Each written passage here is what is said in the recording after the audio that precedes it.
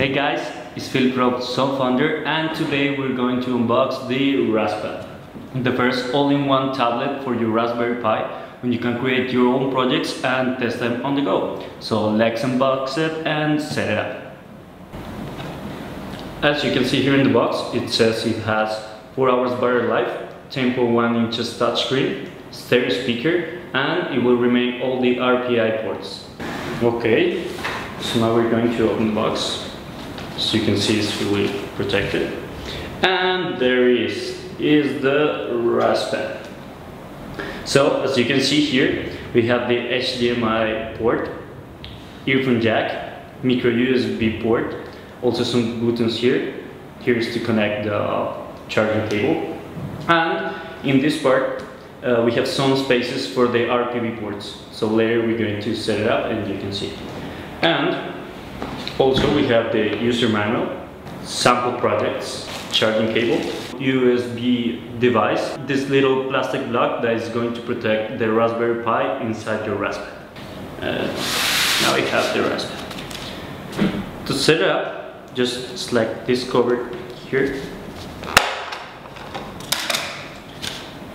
and put your Raspberry Pi inside. Just a little bit note, Raspad has been designed to support all the Raspberry Pi 3 models, not the not other models. So in case you have another one, just need to connect it and leave it aside. But it can work with Raspad 2.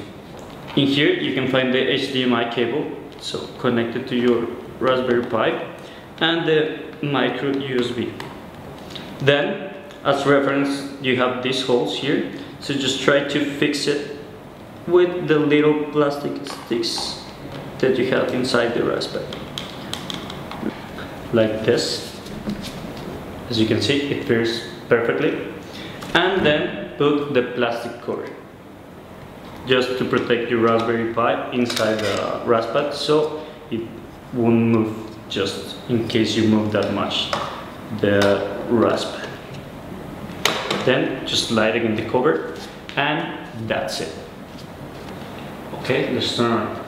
First of all, we need to move this little USB cable and connect it to your Raspberry Pi. This is just to enable the touchscreen of the Raspberry.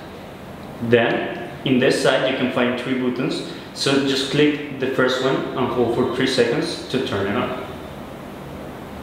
As you can see, it's on. For the other two buttons that we have here is to control the brightness, so to increase or to decrease the brightness. For the volume, you can find on the screen. And also, in here, let's check it out, the different options that we have preset in the Raspberry. So we have some programming softwares and some other things that we're going to get into detail later. Now we're going to have a new website where you can find more tutorials like this and also some cool projects.